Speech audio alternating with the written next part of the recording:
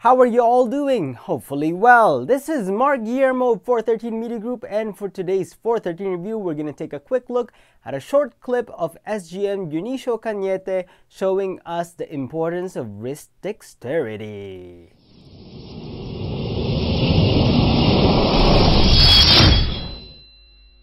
So this clip is from the youngin days of SGM Dionisio. Let's check it out. Boom. Of course, there are some beliefs that the only way you can deliver a very strong and effective punch is by drawing your garrote backward here, then hit it.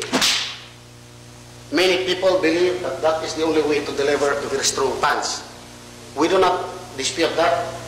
But with proper training on your twirling, you can deliver just as fast and as strong as when you draw your garrote. So for example, here, if he attempts to hit and drawing that back, I can already hit him with a very strong slide because my wrist is developed through the continuous practice of twirl. So you don't need actually to draw back here. If he draws back here,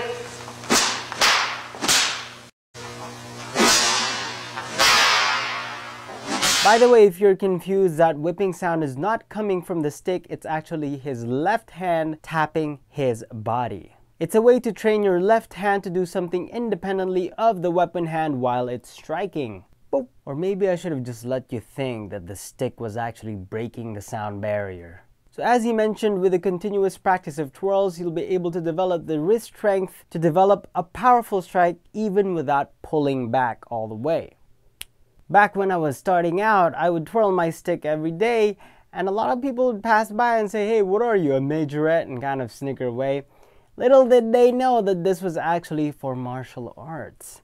This is actually the secret to lightning fast and powerful strikes. I mean, just as what SGM Dionisio demonstrated, while the other guy pulled back, SGM could have delivered three to five strikes or even more if he wanted to, all in that split second that he pulled back his stick. Now, as much as I agree with SGM Dionisio about the importance of wrist dexterity, he kind of skipped over a very important part of body mechanics that you need in order to combine with that wrist dexterity to deliver that powerful strike and that is hip torsion. You twirl and then also twist your hips. With that combination, you can deliver a really powerful strike even without a lot of space. And that becomes really advantageous. Now, of course, SGM Dionisio does it naturally in this video. He just doesn't explain it because you're all plebes and you need to practice more. He just explained the kind of more obvious thing, which is wrist dexterity. And as you move on up and you practice more with your twirls, you'll kind of end up doing it naturally. But if you don't, your instructor should be telling you. If not, uh, I will tell you. Those hips don't lie. Keep those hips twisting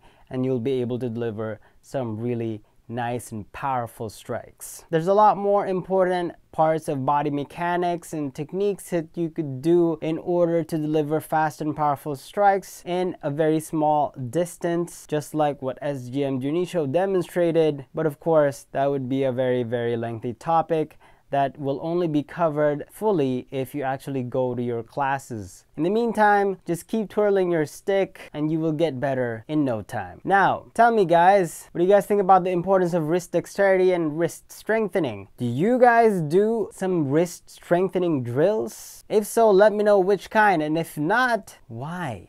write it down in the comment section below. I'd love to read your comments. And once again, thank you so much for watching this video. Please like, share, and subscribe if you haven't already, and click that notification bell below because you're awesome and we're awesome. Alrighty, I'll see you guys in the next one.